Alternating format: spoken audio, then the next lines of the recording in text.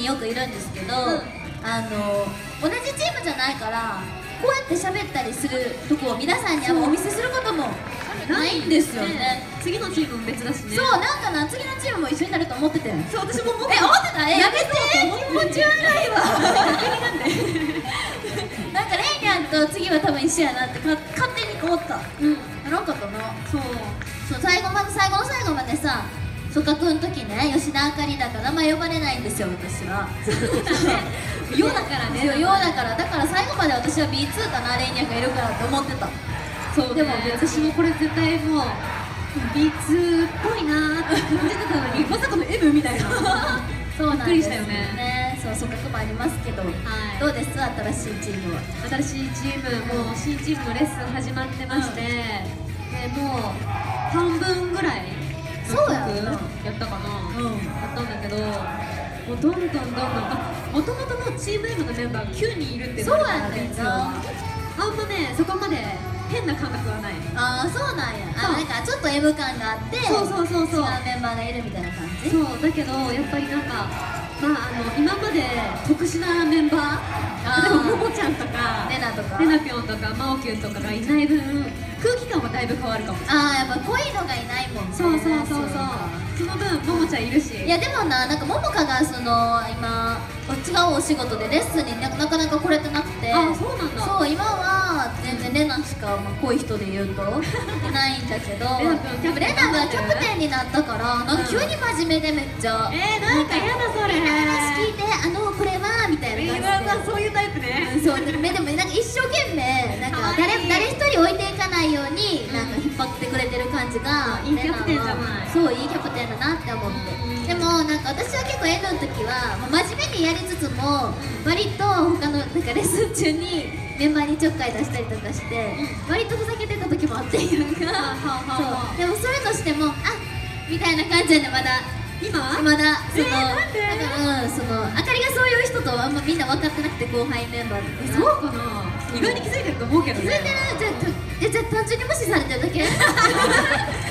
そうかもしれないとかそうなんかノリをちょっと掴んでいかないとと思ってそうだねこれからだね。そうまだ後輩が多いしね。そうなんですよ、うん。じゃあどうする？質問コーナーとかにします？皆さんから聞きますか？ねせっかくなんで質問あるよって方いらっしゃいますか？早い。どうする？え誰がいい？じゃあレンニャから選んでいいよ。えどうしようかな。じゃあああかりってうちはもうかああかり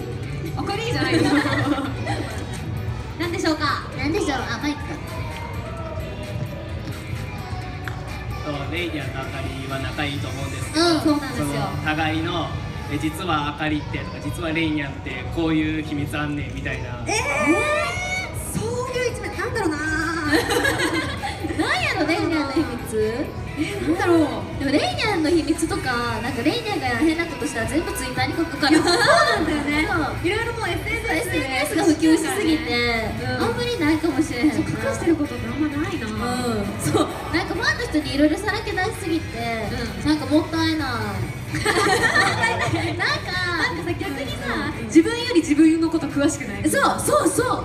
私だってスケジュールとかさ。そう。明日握手会とかであそうやったっけ？みたいな。あありがとうみたいな。そう。だよみたいな。そう。あ服用意しなとか 明日何時なんやっていうのが、マネージャーのスケジュールより先に届くからそうやっぱ SNS の普及はすごいなって思う、助かってるよね。助かってる。だからねのそう暴露話ないな。そうだね。なんかそう言われてみたら本当にないね。うんないかも今後もなんかあったあるたんびに載せていこそうう載せていくわ。チェックよろしくお願いします、楽しみにしてください。じゃあ続いての質問。じゃあかいちゃんさして。あじゃあタイガースがいるから。阪神のユニフォームの方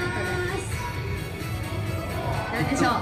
えっと、二人見た感じパッと見てるんですけど。であパンツ脱いでるパンツ見えてるパンツ見えてるパッと見た時パッと見たパッと見た時時二人ともちょっと似てるんです全然違うよえ足をてる身長とかが見た目ですか見た目で、でそれで間違えることってないかなと思ってないですない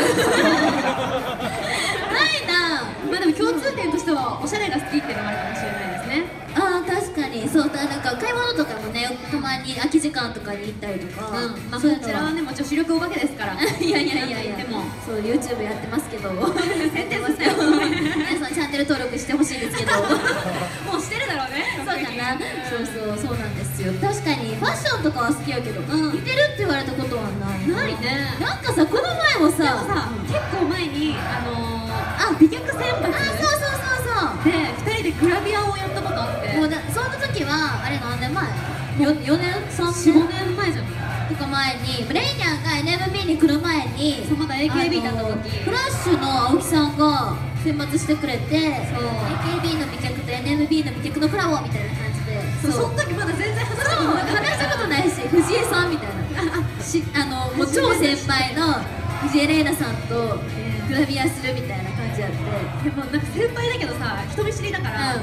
全然その時話さなかったそうもうほんまなあれやんな。なんかさグラビアとかってねこう立っててなんかこうやってやったりとかあそう手を置いたりとかこうやってやったりとかするけど先輩やしほんま話したことないしこんなんやった。ちょっとなんか震えてたちょっと震えちゃうみたいな。そういやでもそんなそんなレイニャンが今こうやって NMB に来て、うん。なんかこんな普通に喋ってんのがなんか不思議だよね。そうそう。そうこんな時代が変わるもんなんですね。ね怖いね。すごいですあと3年後とかどうなってるか分からへんからいやな本当に。だってそんなん言ったら今年1年でさ、うん。ミルキーが卒業したりとかさ、はいはい。ミカちゃんも卒業したしなんかもう卒業続出でさ、うん。最近で言えばしゅうちゃんけいちゃんも発表しちゃうからさ。なんかしゅうちゃんもびっくりした。びっくりしたな、うんそうそうそう驚いたね。で驚きましたね。そうだからさなんか知らんけどさまあ5月のさ写メ会の件取ってるんだけどさ 大丈夫だよねとかさわかる言わさっきも聞かれてさ、うん。そんな急にはしやんけどと思ってうんそうそうそう。確かに私もなんかしゅうちゃんとかが卒業発表した後にレイニャンってエゴサしようと思ったら卒業って出てきたもん。やった藤江って言っても卒業って出てきたまあでも推しの卒業とかは怖いですよね気になりますよねじゃあ最後の質問いきますか、いっちゃいましょう。どうするじゃああかりとレイニャン両方してよって方にするってことなんで。ああげてますよ。あの子そうやんな。どな？ドドナルドの子。二人とも知ってる。なんでしょうかなんでしょうか？二人ともあのレーンが隣になった時どうしたらいいですか？めっちゃ困ってんじゃん確かにでもそれはさ皆さん関係しますよねだって。そうだね。ここ二人じゃなかったとしても誰かとん隣になったりとかあるからな。そうね。まあでもあかりちゃんに関しては、もう最初のうちはあ言ってるんだって思ったけど、うん。もう普通になってきたよね。わかるわかる。なんか結構いてるんですよ。そうファンの方がね。なんか推しはどっちかやけどなんかタイプがなんか一緒なのかわかんないけど握手のタイプというかなんか結構いってるファンの方がかぶってるからあそういってるんだみたいな感じ。やっけやん。な、逆に誰やったらじゃあ嫌とかある？逆に？えなんか小学生とか来たら、うん。マジかって思う。で今最近はいっぱい出てきてるけど、うん。そうそう。若い子。さ23歳になる年だから、うん23歳となんか12 12歳。の